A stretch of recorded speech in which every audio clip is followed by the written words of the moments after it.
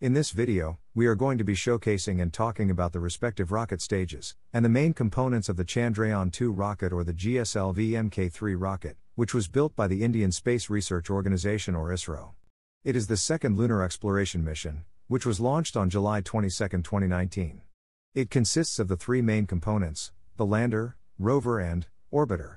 However, the lander crashed when it deviated from its intended trajectory while attempting to land on September 6, 2019.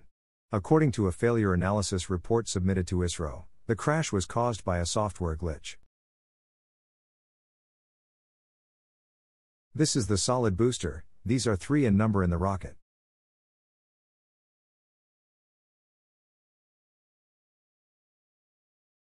This is the first stage rocket engine.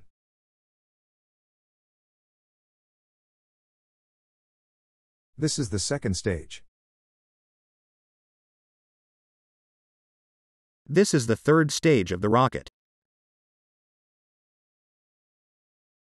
This is the payload fairing. It consists of the three main components the lander, rover, and orbiter.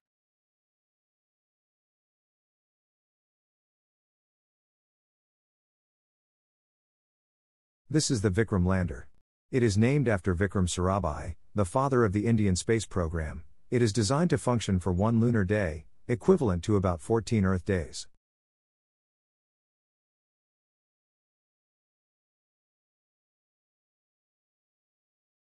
This is the Pragyan rover.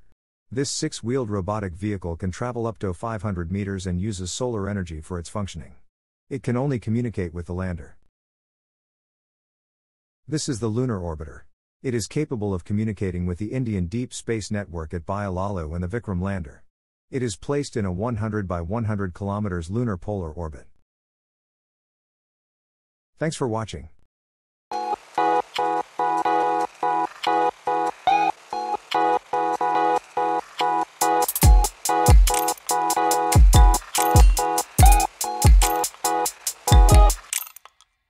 Bye.